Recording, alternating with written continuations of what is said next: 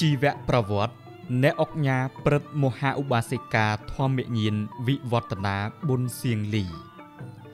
អ្នកអុកញ៉ាព្រឹទ្ធមហាឧបាសិកាធម្មញានវិវឌ្ឍនាប៊ុនសៀងលី កើតនៅថ្ងៃច័ន្ទ12កើតខែពិសាឆ្នាំឆ្លូវពុទ្ធសករាជ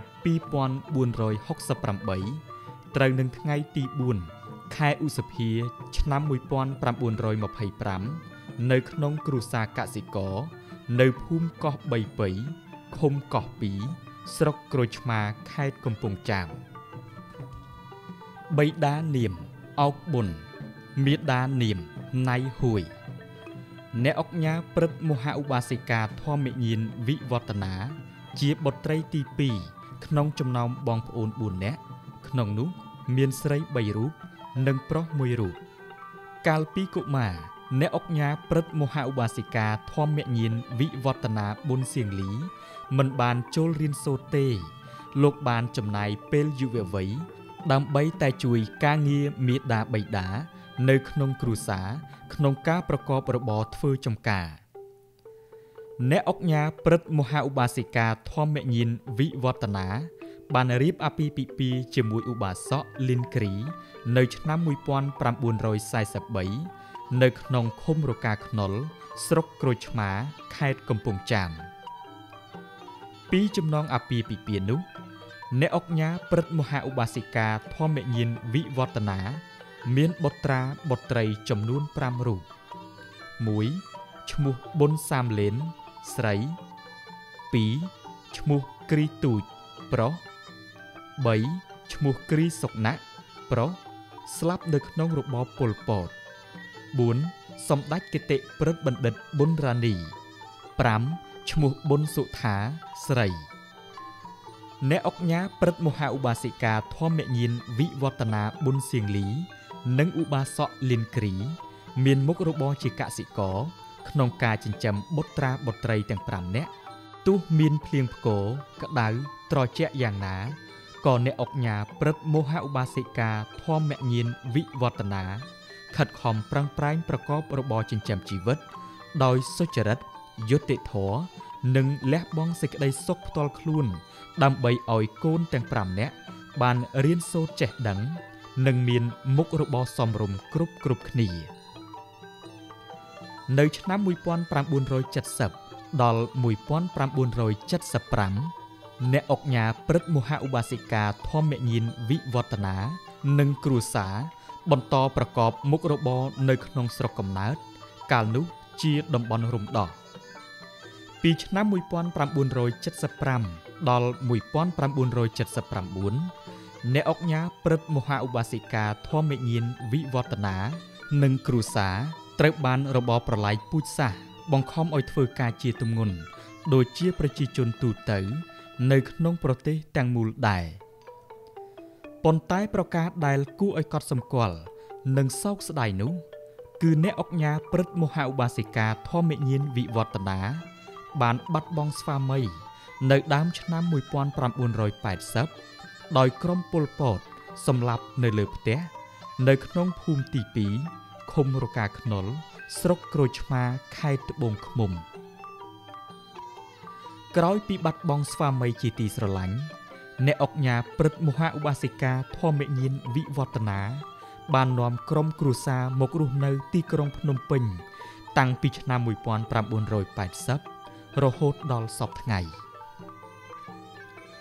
នៅក្នុងជីវិតរបស់អ្នកអុកញ៉ាព្រឹទ្ធមហាឧបាសិកាធម្មញានវិវឌ្ឍនាបានបន្សល់ទុក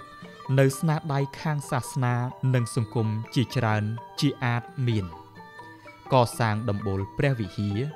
លំភិនីវត្តនគរកសិនរា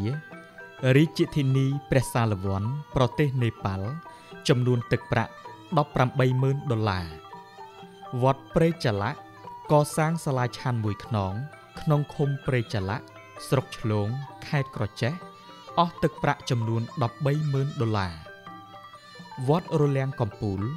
កសាងសាលាឆាន់មួយខ្នងអស់ទឹកប្រាក់38,000ដុល្លារ កុដិមួយខ្នងអស់ទឹកប្រាក់45,000ដុល្លារកសាងព្រះពុទ្ធរូប5អង្គអស់ទឹកប្រាក់30,000ដុល្លារវត្តពោធិសាល ក្នុងឃុំបើស2ស្រុកក្រូចឆ្មាខេត្តត្បូងឃ្មុំ កសាងសាលាឆាន់អស់ទឹកប្រាក់ចំនួន73000ដុល្លារកសាងព្រះវិហារឃុំគោកព្រែកស្រុកគិរីវង្សខេត្តតាកែវ អស់ទឹកប្រាក់ចំនួន295,200ដុល្លារវត្តអំពរវ័នកសាងព្រះវិហារឃុំជំនិចអស់ទឹកប្រាក់ចំនួន197,700ដុល្លារកសាងសាលាឆាន់អស់ទឹកប្រាក់ចំនួន127,000ដុល្លារកសាងដំបូលព្រះពុទ្ធអស់ទឹកប្រាក់50,000ដុល្លារវត្តលួងឃុំរកាខ្នុលស្រុកក្រូចឆ្មាខេត្តត្បូងឃ្មុំ កសាងសាលាឆាន់ព្រះវិហារអស់ទឹកប្រាក់ចំនួន162,000ដុល្លារវត្តឈូកឃុំឈូកស្រុកក្រូចឆ្មាខេត្តត្បូងឃ្មុំ កសាងព្រះវិហារអស់ទឹកប្រាក់ចំនួន50,000ដុល្លារវត្តចម្ពុះក្អែកហៅវត្តមុនីសវណ្ណកសាងមហាកុដកុដសាលាពុទ្ធកបឋមសិក្សាអស់ទឹកប្រាក់ចំនួន225,000ដុល្លារវត្តលង្កាកសាងមហាកុដ កុដអស់ទឹកប្រាក់ចំនួន388912ដុល្លារវត្តបទុមវតីកសាងមហាកុដសាលាធម្មសភាកុដអស់ទឹកប្រាក់ចំនួន530,000ដុល្លារវត្តច័ន្ទបុរីវង្សកសាងព្រះវិហារសាលាធម្មវិន័យសាលាហៅត្រៃអស់ទឹកប្រាក់ចំនួន407,000ដុល្លារវត្តមុនីប្រសិទ្ធិវង្ស កសាងសាលាធម្មសភាអស់ទឹកប្រាក់315,000ដុល្លារកសាងប្រាសាទព្រះគោព្រះកែវស្ថិតនៅស្រុកត្រាំកក់ខេត្តតាកែវអស់ទឹកប្រាក់ចំនួន35,000ដុល្លារកសាងសាលារៀនវត្តអារាមសាលាឆាន់កុដម៉ាស៊ីនភ្លើងអណ្ដូងទឹក ស្រះទឹក និងការឧបត្ថម្ភផ្សេងផ្សេងទៀតដែលមិនបានរៀបរាប់អស់ ដោយសារស្នាដៃដ៏ធំធេងក្នុងវិស័យសាសនា និងសង្គមអ្នកអង្គញាព្រឹទ្ធមហាឧបាសិកាធម្មយានវិវឌ្ឍនាទទួលបាននៅគ្រឿងអិសរិយយុជាតុបការព្រមទាំងគ្រឿងអិសរិយយុថ្នាក់ខ្ពស់របស់ជាតិជាច្រើនគ្រឿងទៀតនៅថ្ងៃទី30ខែវិច្ឆិកាឆ្នាំ2019ព្រះករុណាព្រះបាទសម្ដេចព្រះបរមនាថនរោត្តមសីហមុនីព្រះមហាក្សត្រ នៃព្រះរាជាណាចក្រកម្ពុជា បានប្រោសព្រះរាជទានគោរមងារមហាឧបាសិកាប៊ុនសៀងលី ជាអ្នកអុកញ៉ាព្រឹទ្ធមហាឧបាសិកាធម្មញានវិវឌ្ឍនាប៊ុនសៀងលីអ្នកអុកញ៉ាព្រឹទ្ធមហាឧបាសិកាធម្មញានវិវឌ្ឍនាប៊ុនសៀងលី មានសុខភាពល្អរឹងមាំទោះបីមានព្រះជន្ម95ឆ្នាំហើយក៏ដោយទើបតែមកដល់ថ្ងៃប្រហោះ 10រោចខែកដិក ឆ្នាំកុលឯកស័កពុទ្ធសករាជ2563ត្រូវនឹងថ្ងៃទី21ខែវិច្ឆិកាឆ្នាំ2019ស្រាប់តែមានជំងឺធ្ងន់តម្រូវឲ្យអញ្ជើញចូលព្យាបាលនៅមន្ទីរពេទ្យកាល់ម៉ែត នៅវេលាម៉ោង17:00បន្ទាប់ពីសង្គ្រោះបន្ទាន់នៅមន្ទីរពេទ្យ អ្នកអុកញ៉ាព្រឹទ្ធមហាឧបាសិកាធម្មញានវិវឌ្ឍនាប៊ុនសៀងលី បានធូរស្បើយនិងបានមកព្យាបាលបន្តនៅគេហដ្ឋាន ចាប់ពីថ្ងៃទី13ខែមករាឆ្នាំ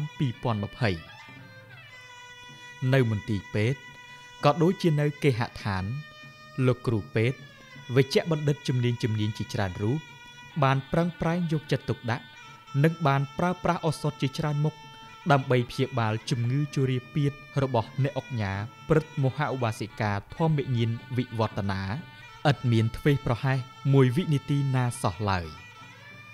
ប៉ុន្តែទោះបីជាលោកគ្រូពេទ្យវិជ្ជបណ្ឌិតគ្រប់ផ្នែកគ្រប់ជំនាញបានខិតខំប្រឹងប្រែងបំពេញភារកិច្ចតាមមុខជំនាញយ៉ាងណាក៏មិនអាចស្រោចស្រង់ជីវិតអ្នកអុកញ៉ាព្រឹទ្ធមហាឧបាសិកាធម្មញានវិវឌ្ឍនាឲ្យរួចផុត ពីមច្ចរាជបានឡើយ អ្នកអុកញ៉ាព្រឹទ្ធមហាឧបាសិកាធម្មញានវិវឌ្ឍនាបានលាចាកលោកនេះទៅ នៅវេលាម៉ោង2 12នាទីទៀបភ្លឺថ្ងៃច័ន្ទឆ្នាំជូតទស័កពុទ្ធសករាជ2563ត្រូវនឹងថ្ងៃទី4ខែឧសភា ឆ្នាំ2020នៅចំពោះមុខសេចក្តីទុក្ខសោកសង្វេគស្ដាយស្រណោះក្រៀមក្រំ ធ្ងន់ធ្ងរជាទីបំផុត ការទទួលអនិច្ចកម្មរបស់អ្នកអុកញ៉ាព្រឹទ្ធមហាឧបាសិកាធម្មមេញានវិវឌ្ឍនាប៊ុនសៀងលី ជាការបាត់បង់មួយដ៏ធំធេងនៅមេដាជីដូនជីដូនទួត ដែលមានព្រំវិហារធរដ៏ខ្ពង់ខ្ពស់បំផុតចំពោះកូនចៅចាប់ពីពេលនេះតទៅ កូនចៅចៅទួតទាំងប្រុសទាំងស្រី ព្រមទាំងញាតិមិត្តចិត្តឆ្ងាយលែងបានជួបមុខជារៀងរហូតហើយសេចក្តីល្អនិងគុណធម៌ដ៏ឧត្តមឧត្តមបរិសុទ្ធថ្លៃថ្លា និងសេចក្តីអង់អាចក្នុងការតស៊ូជំនះឧបសគ្គគ្រប់យ៉ាង របស់អ្នកអុកញ៉ាព្រឹទ្ធមហាឧបាសិកាធម្មញានវិវឌ្ឍនានឹងស្ថិតនៅក្នុងការចងចាំរបស់កូនចៅចៅទួត និងញាតិមិត្តទាំងអស់ ឥតមានថ្ងៃបំភ្លេចបានឡើយយើងខ្ញុំទាំងអស់គ្នាជាកូនកូនប្រសា ប្រុសស្រីចៅចៅទួតគ្រប់រូបសូមលើកហាត់ប្រណម្យបួងសួងដល់គុណបុណ្យព្រះរតនត្រ័យវត្ថុស័ក្តិសិទ្ធិក្នុងលោកដែលចេះបារមីទេវតារក្សាព្រះរាជាណាចក្រកម្ពុជា ទេវតារក្សាមហាស្វេតឆ័ត្រសូមលោក ជួយនាំដំណើរវិញ្ញាណក្ខន្ធ អ្នកអុកញ៉ាព្រឹទ្ធមហាឧបាសិកាធម្មញានវិវឌ្ឍនាប៊ុនសៀងលី ទៅកាន់ឋានសួគ៌គិលី ប្រកបដោយបរមសុខកំបីឃ្លៀងឃ្លាតឡើយ សូមអរព្រះគុណនិងអរគុណ